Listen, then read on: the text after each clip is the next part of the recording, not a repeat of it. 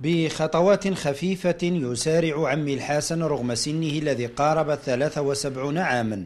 يسارع نحو قاعة رياضة كمال الأجسام ببلدية ميلا وهو على ثقة بأن هذا العمر ليس حاجزا للرياضة. هي الرياضة هذه أعطتني شوية الشجاعة ولن ما زلت قادر شوية نمشي ونجنبوا المرض من الرياضة هذه.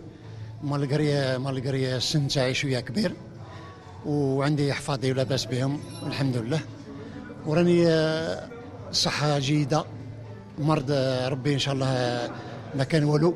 راني الحمد لله pour le moment واحد يجيك كبير عنده programme كيف تخدم معاه واحد يجيك moyen عنده programme كيف تخدم معاه واحد صغير عنده programme كيف تخدم معاه.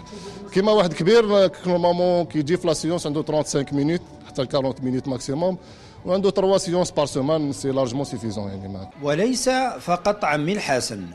بل أيضا الطاهر ذو السبع وستون عاما ورضوان سبع وخمسون عاما وكلهم متزوجون ولهم أحفاد لكنهم متيقنون بأنهم ليسوا بعجزة. les gestes اللي كانوا يصعبوا ils sont devenus faciles كاين تحسن كنت كنت هيك اللبسان تصعب لي نقول لها الحمد لله دي حوالي ربع سنين نمارس في الرياضه هذه تاع لا ميسكيلاسيون بكري كنا صغار وكناش نديروها ما على بالناش على ليبوك كنا هنا تحواس ودا مي من بعد فقنا باللي اشاك فوا نزيدو في لو بوان نزيدو في لو بوان.